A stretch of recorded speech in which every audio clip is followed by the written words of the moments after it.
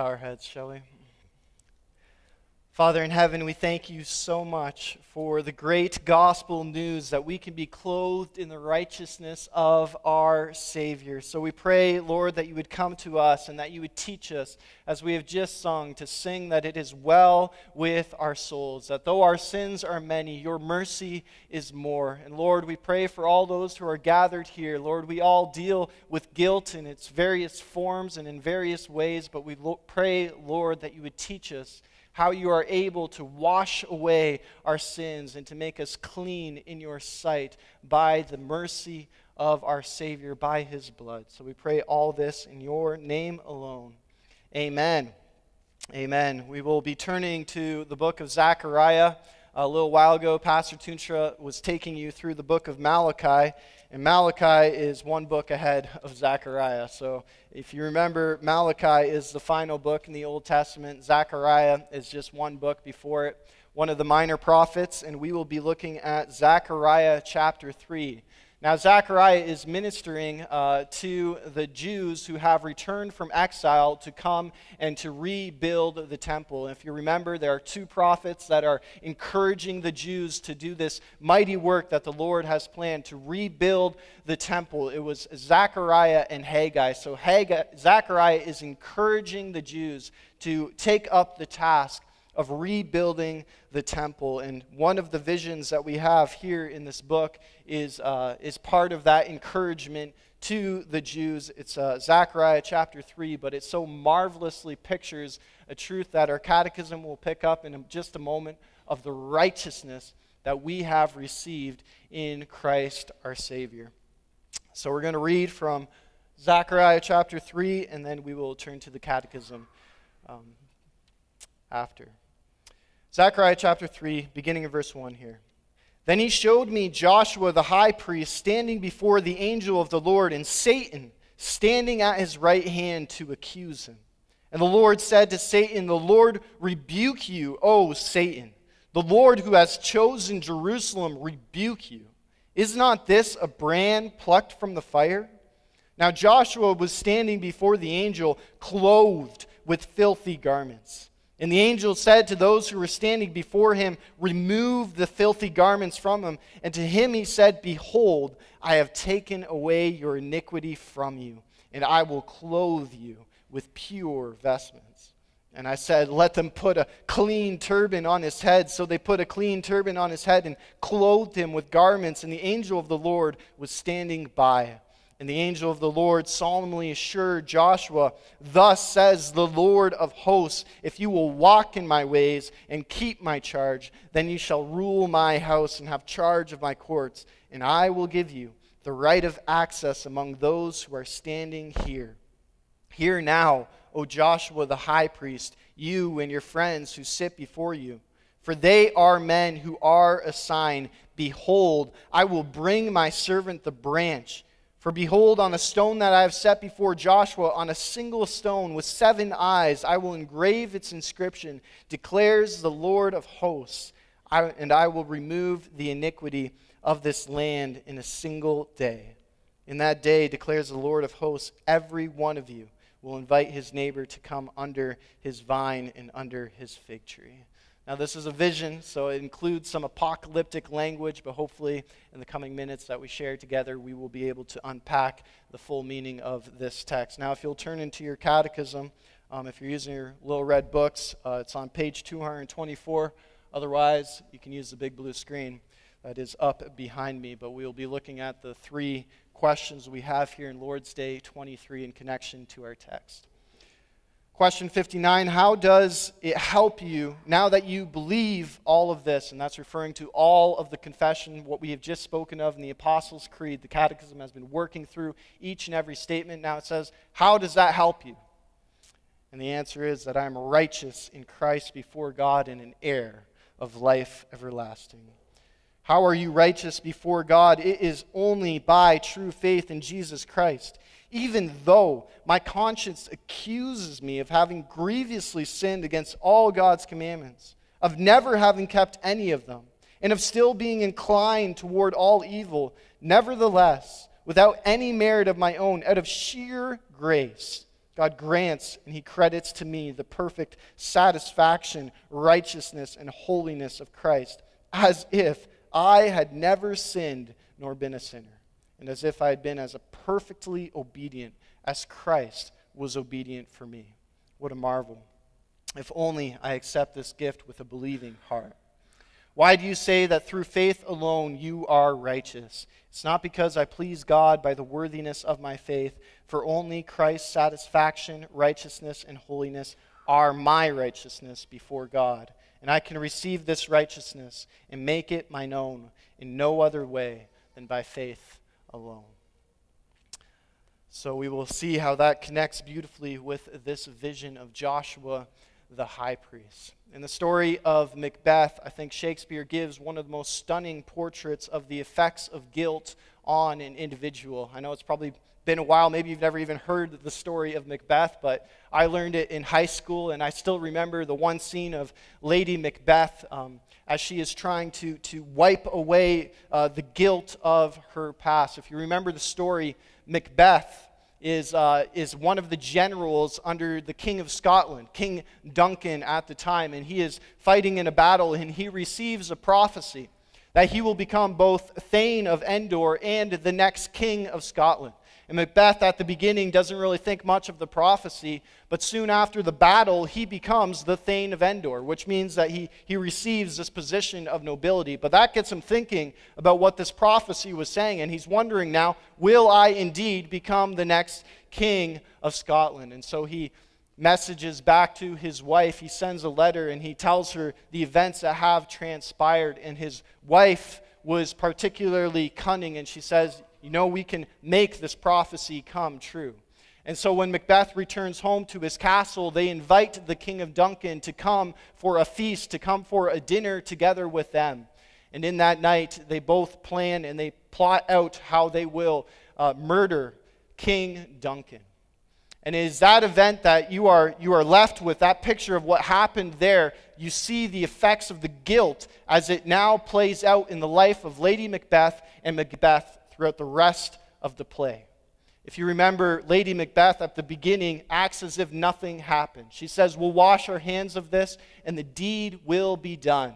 She tells Macbeth to man up because what has been done has been done. And it truly uh, you know, works out so that this causes Macbeth to become the next king of Duncan. But at what cost? Or king of Scotland. But at what cost. You can see the effects of guilt on Macbeth throughout the whole play. He is no longer able to sleep through a night, which is a picture in Shakespeare of the, the accusation that is filling his head. No longer can find any rest, no longer can find any peace because this guilt is beginning to haunt him. And Lady Macbeth, though she seemed like it has no effect on her, that she is, is cold to these emotions, as you watch the play progress, you see that it is deeply affecting her too though she wanted to wash her hands clean of it, um, she too is unable to find any rest.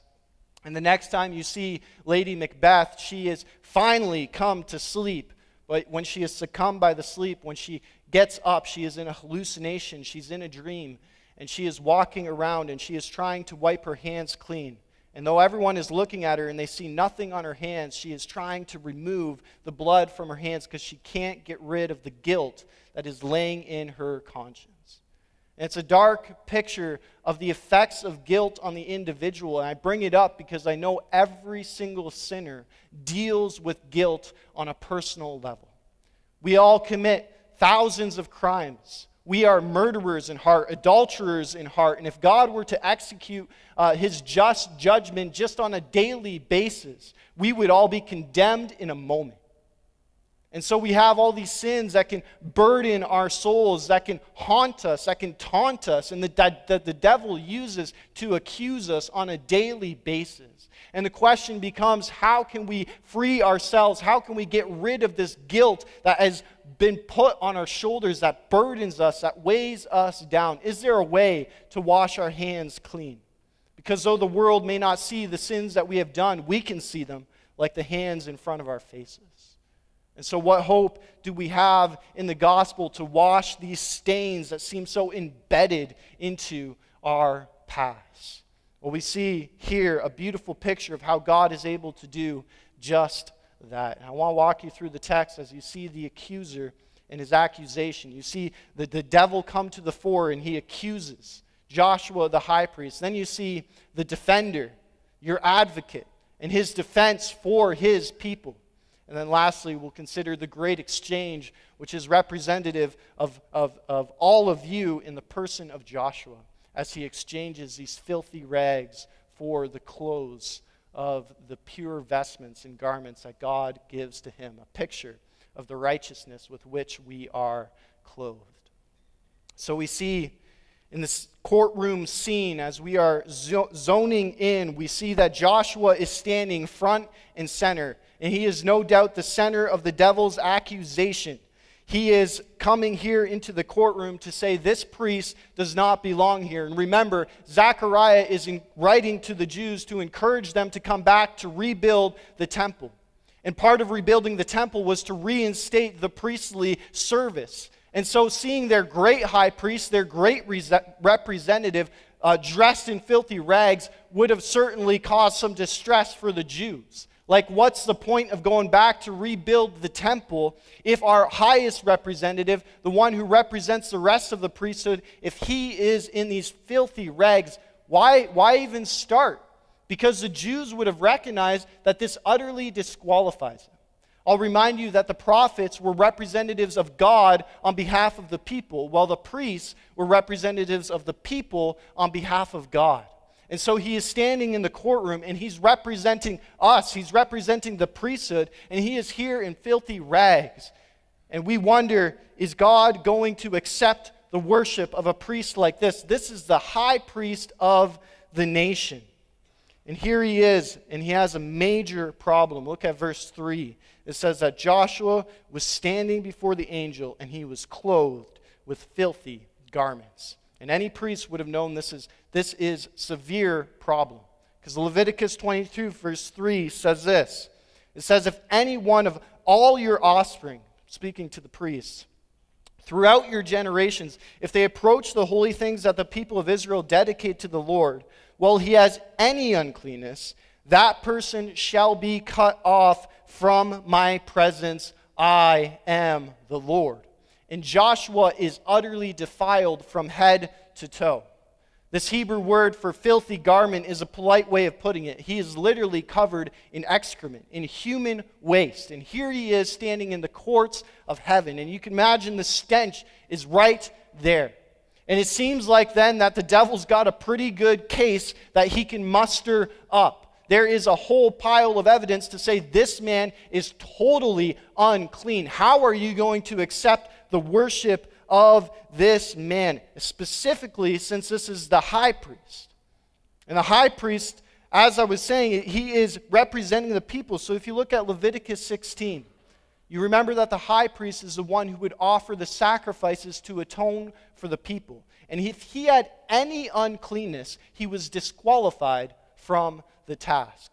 And so, if you have time this week, please read Leviticus 16 and see how cleanness was so integral to the process of the high priest making the sacrifices for the people. Before he even started, he would bathe and he would make sure he was spick and span because later that day he would be taking the, the, the, um, the, the lamb and he would be sacrificing the lamb on behalf of the people. And in order to do that, he needed to make sure that when he's coming into the presence of the Lord, he was perfectly clean. If he was, had any defilement at all, he could be struck down dead. And so, no doubt, for the high priest, that was one of the most nerve wracking days. They would get up early and they would want to make sure that they were completely clean so that this process would go smoothly. They used to even tie a rope around the high priest's ankle just in case they were struck dead in the holy presence of the Lord so they could pull them back out. Because otherwise, how do you retrieve the body without killing yourself? This is how serious it was to come into the presence of the Lord. You see the problem? And here Joshua is, and head to toe, he is defiled. And the question is how in the world is the Lord going to accept the worship of a high priest like this? The Jews, no doubt, would have wondered why should we even build this temple at all if we are that disqualified? And this, this, this, this um, defilement is clearly representing Israel's time in Babylon, their time in exile, because the Lord said when they were sent to exile, He was disciplining His people, right? And he said that they were going to become small in the eyes of the nation, that they were going to, uh, to, to, to suffer many things. And part of this exile was the effect it had on the priesthood, because the priesthood hadn't been in service for so long. And now this man is standing here, and he's coming back from the exile, and the shame is written all over his clothes. And so this presents, it seems like an easy case for the devil. He says, Look, he's contaminated. And Satan, his name means the accuser. It's the noun form of the verb to accuse. So, what's Satan doing here? He comes to accuse. This is very significant because the devil only shows up a few times in the Old Testament. Uh, I think four or five times, you know, and one of the most significant cases is in the case of Job, right? And what is he doing with Job? He says, Lord, you know why Job is following you.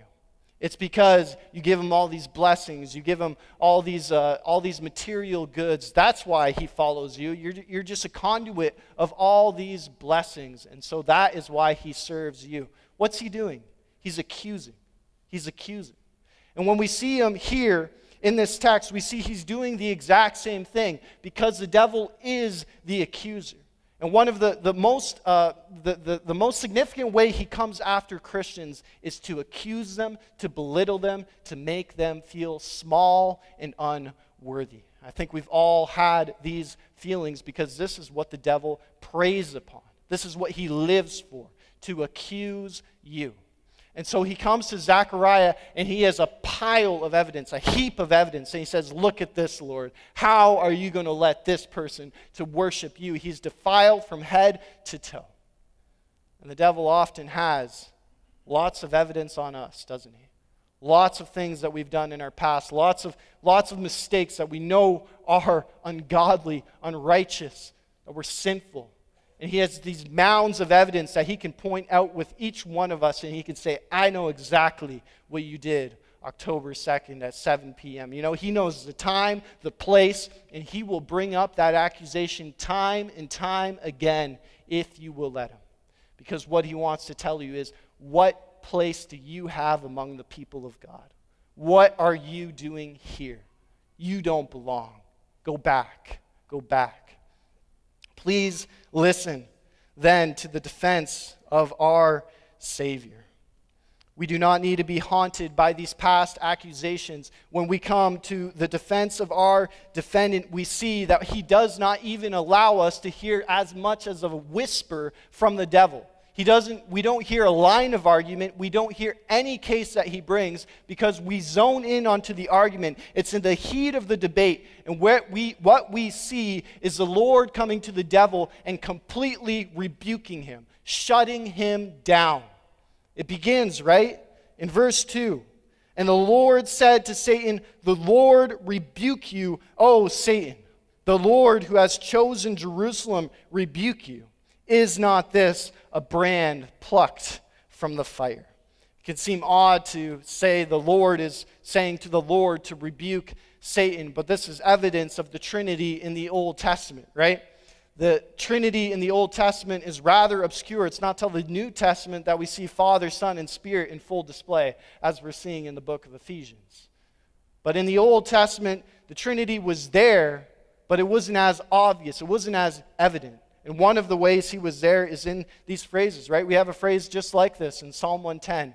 The Lord said to my Lord, Sit at my right hand until I make your enemies your footstool. So we see evidence of the Trinity here. The Lord is saying to the Lord to rebuke the devil. And the Lord's rebuke has power, okay? I don't want you to, to, to, begin to think that the Lord is just, you know, having a little quibble, having a little, little, little argument with the devil. No, when the Lord rebukes the devil, it has, it has force, a power that is far greater than any argument that we could ever come up with or make up on our own. One commentator says that God's roaring rebuke forces the waters of the sea to retreat and he turns to flight the tumultuous onrush of the nations.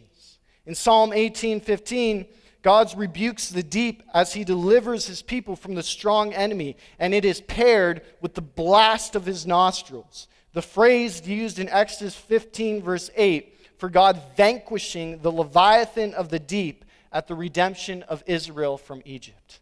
His rebuke has power. And we saw it in the life of Christ. You remember when Peter comes up to, to Jesus and he tells Jesus, you know, after he has just been explaining, he's going to the cross, he's going to suffer. Peter pulls Jesus aside and says, Lord, you don't have to, you don't have to do that. You remember how the Lord rebukes him. And says in Mark 8:33, "Get behind me, Satan." And you never see the devil show up again. The Lord has power in his rebuke. You remember when Jesus was on the Sea of Galilee and the disciples are with him, and the, the winds and the waves are crashing into the boat, and it, the water is coming over the sides, and the disciples are frightened. They think they're going to die. And so they run down to Jesus and they say, Jesus, aren't you going to do something? Aren't you concerned that we are perishing? And do you remember what happened? Jesus got up and he went onto the boat and he said to the winds and the waves, Be still. He rebuked the winds and the waves, it says. And what happened? The winds and the waves were completely still.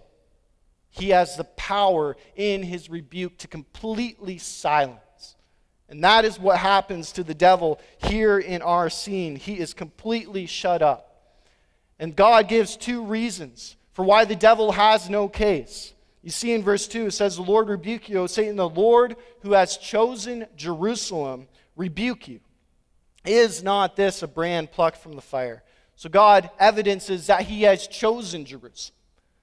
This is why he can rebuke the devil. Remember, we are chosen before the foundations of the world. And so he points out that he has chosen this remnant. I have chosen this people. So who are you, devil, to question who I choose? You're not going to make me change my mind. This was never a, a, game of choice. You're not going to make me look to someone else. I have chosen them, and so you have no right to question my choice. That's what he's telling the devil. And he says, Is not this a brand plucked from the fire?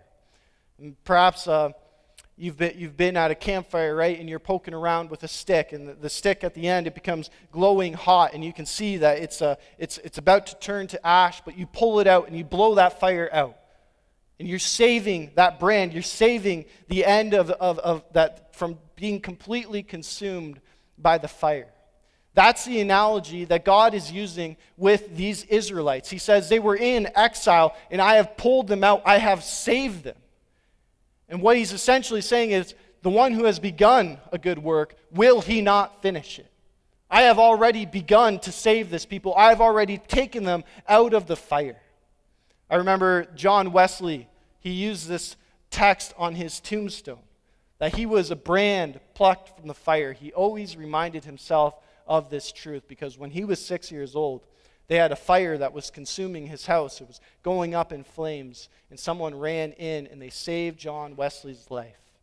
And just on a side note, that motivated him for the rest of his life to pursue God and to preach him to the nations because he always reminded himself of how I was delivered. I almost perished, and God delivered me. And it can be so motivating when we remind ourselves the Lord saved us from perishing and he saved us. A brand plucked from the fire, from the gates of hell, from, from being tormented, from being separated from God forever. He saved us. Don't we owe him everything? But that's the image that God is using for this remnant. He's saying they're a brand plucked from the fire. I've already begun to save them, and I will save them in full because I am a God who saves to the uttermost. And so God is rebuking the devil. Do not try to try to scrub away your own guilt. Do you see Joshua? Joshua does not begin to rebuke, uh, rebuke Satan. He does not begin to argue with Satan. He does not begin to tell Satan to back up. He knows he has no argument and he says nothing. Because Joshua has a defendant, and that defendant is the Lord. And we will not be able to scrub away our guilt. We will not be able to get rid of it on our own. If we go into contest with the devil, if we go against his accusations and try to wiggle our ways out with our own arguments, we will find ourselves falling into despair time and again because the devil is good at his craft. But if you go to the Lord, who is your mighty advocate, he can shut up the devil in a word. He's able to do it. The Lord rebuked Satan. And so we are safe under our advocate. The Catechism says in question 60, notice how it focuses on the accusations that we often feel. It says, How are you righteous before God? It is, it is only by true faith in Jesus Christ, even though, even though my conscience accuses me. It keeps coming after me. It keeps showing these, uh, or firing these fiery darts of having grievously sinned against all God's commandments, of never having kept any of them and of still being inclined toward all evil. Nevertheless, without any merit of my own, out of sheer grace, God is able to grant and credit to me the perfect satisfaction, righteousness, and holiness of Christ, as if I had never sinned nor been a sinner. Isn't that astounding? That He is able to take away these accusations. He is able to, to, to, to pull uh, us from this this, this conscience that constantly haunts us. He can deliver us by his Son. And that is our third point together as we see the great exchange that takes place in our text. Look at verse 4. The angel said to those who were standing before him, Remove the filthy garments from him. And to him he said, Behold, I have taken away your iniquity from you, and I will clothe you with pure uh, vestments. Notice the personal operation of God in this text. I have taken away your iniquity, and I will clothe you.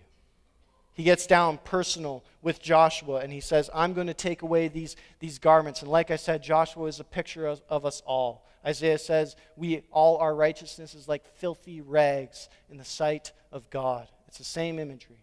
We are like Joshua. We are clothed in this filth, and we need new garments.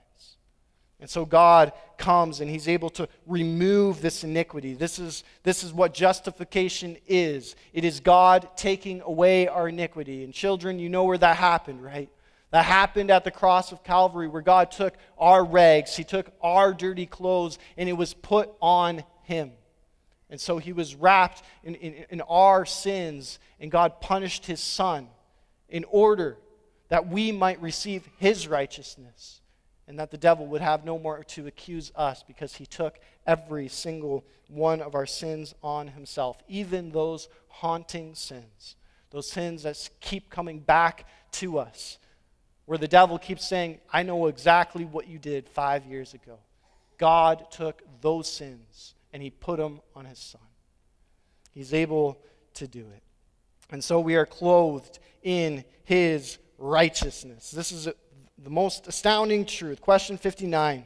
It's reflecting on, on everything that the catechism has been it's reflecting on, on everything that the catechism has been teaching in our confession. Week by week we say the Apostles' Creed, right? I believe in God the Father, I believe in God the Son, I believe in the Holy Spirit. It's amazing how the Catechism, in reflecting on that confession that we say on a weekly basis, says, How does that help you? It's saying that God is bringing to you again and again every week. He's reminding you that I am righteous in God. This very truth is at the core of that confession. We say this week by week that I am righteous in Christ before God and an heir of life everlasting. Notice that we are righteous in Christ before God, not just not, not, not just outside the temple, not, not where the high priest, you know, um, like he went into the presence of God just one day a year. No, we are taken up into these high heavens, into his courtroom, and we are presented there because we have access in the Son before a throne of grace. That's where God takes us, and we are made righteous in his Son. His Son does not accuse us, but he gives us access, and he defends us because we are his. And essentially, what happens is Joshua is recommissioned. God says, close them in righteousness, and he says, walk in this. Continue on in these paths of righteousness. And he allows him to go back to the temple. What hope! That we are able to do our roles, we are able to do our tasks in the church of being elders, deacons, whatever your role is in helping out. We're all filthy. If it was just uh, uh, on the basis of who we are, we would have no opportunity to help in the church. But God sees us in his righteousness and he says, Walk forward. Because of the righteousness I have given you, you are able to do these good works for my glory. And so Joshua is recommissioned, but what I want to focus on is the peace that this gives us in Christ. Look at verse 8. Says, Hear now, O Joshua the high priest, you and your friends who sit before you, for they are men who are a sign. Behold, I will bring my servant the branch. And notice that that branch is capitalized because this is referring to the Messiah, to the Son of God who will come. Jeremiah 23, verses 5 to 6 says, Behold, the days are coming, declares the Lord, when I will raise up for David a righteous branch and he shall reign as king and deal wisely and shall execute justice and righteousness in the land. In his days, Judah will be saved and Israel will dwell securely. And this is the name by which he shall be called The Lord is our righteousness. One of my favorite titles of God, that he himself is our righteousness. All our righteousness, filthy rags, but he he is perfectly righteous and he is our God who is our righteousness. This text is proving that title, that he is indeed the one who will clothe us in his own righteousness. And I love the precision of the Old Testament. Remember, this was written some 500 years before Christ even came. And it so beautifully points forward to the Messiah who shall come, who shall take away our sins on a cross and shall clothe us in his righteousness. Look at verse 9. It says, For behold, on the stone that I have set before Joshua, on a single stone with seven eyes, I will engrave its inscription, declares the Lord of hosts, and I will remove the iniquity of this land in a single day. It's a single stone with seven eyes. It's, again, it's obscure language because we're dealing with apocalyptic literature. But most likely, what God is referring to here is the cornerstone that we have spoke of earlier this morning. Because uh, uh, Zechariah is preaching to the Jews. They're going back to rebuild the temple. So he's saying, I set, a, I set the cornerstone before the eyes of Joshua. And it's a cornerstone that has seven eyes, a weird, a weird, uh, strange phrase, right? But this is speaking, uh, the number seven in Hebraic thought speaks of perfection. And so it has eyes, which speaks of providence. And so God is saying, I am watching over this cornerstone. I'm going to bring him in the, in the fullness of time, and he is going to be the foundation of the temple that you are building, Joshua. That's the message that God is laying before me. He says that this stone declares the Lord of hosts that he will remove the iniquity of this land in a single day, just like you saw with Joshua. God removing the clothes, taking them from him. So God will do that with the whole land, with all of his people. He will take away their iniquity in one single day.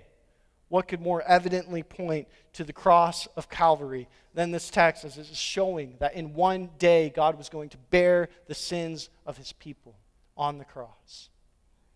And so, what was anticipated in the book of Zechariah as he pointed forward to a stone that was to come, a cornerstone of the temple, who is his church. What was anticipated then has already been revealed for us. And so now we look back on this and we say, does this not point to the King of Kings who died on the cross for his people? He took our sins and he took them off of us and he wrapped them around his son in order that he may take the righteousness that was on Christ and wrap them around you. That is the great exchange that is demonstrated in Joshua.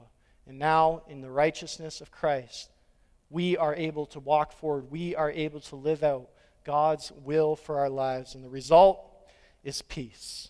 Verse 10 In that day declares the Lord of hosts, every one of you will invite his neighbor to come under his vine and under his fig tree. This is a picture of peace. In the time of Solomon, this language is used, right? He's, Solomon was that great king of Israel where they had no enemies. There was no tension. There was no rival. Everything was at peace in the land. He was the king of peace.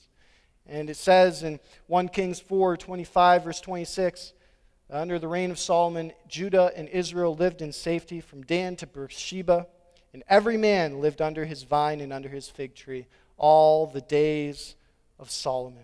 There's peace. There's peace even for sinners like Lady Macbeth, who have done horrendous deeds, who cannot fall asleep at night. She wonders, How can I get these bloody stains off my hands? You will not do, them, do that by scrubbing them. You will not do that by trying to silence them, by ignoring them. You will only do that through the blood of Christ. He is able to wash away our sins. That is the confession that we are making here together. Question 61 says, How can I receive this righteousness? I can receive it make it my own in no other way than by faith alone. Joshua never says anything and he never does anything. He looks to this, to this great advocate, and he is the one who comes down and removes the, the guilty stains and he clothes them in his righteousness. He who knew no sin became sin so that you might become the righteousness of God. That's what that is teaching. God took your sin, He paid the fine so that you might receive the righteousness of God. He is our righteousness. There is a fountain filled with blood drawn from Emmanuel's veins, and sinners plunged beneath that flood lose all their guilty stains. What can wash away my sins? Nothing but the blood of Jesus. Let's go to him in prayer. Lord, we thank you that you are able